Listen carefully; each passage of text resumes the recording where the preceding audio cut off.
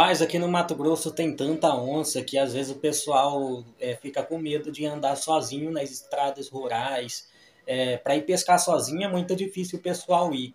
É muito difícil mesmo, gente. Quando a gente convida um para ir pescar, o pessoal já fica meio ressabiado assim, não, não querendo ir. Olha aí o que, que esse pessoal encontrou na estrada aí. A onça preta. Olha o tamanho dessa moleca. Essa é uma baita de uma onça, amigo. Ó.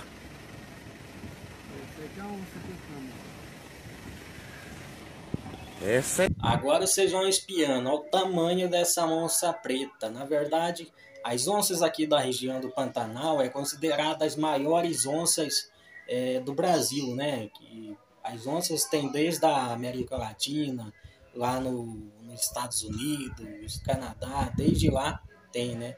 As onças. Então, as onças daqui do Pantanal é consideradas as maiores até do mundo. As maiores onças do mundo se encontram aqui no Pantanal. E tem uma quantidade muito grande de onças. Que, inclusive nas estradas rurais aqui, o pessoal não dá bobeira à noite, não.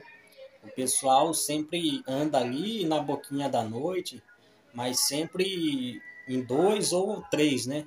E assim mesmo de veículo, né? Carro, moto, para ser mais rápido. Não pode dar bobeira muito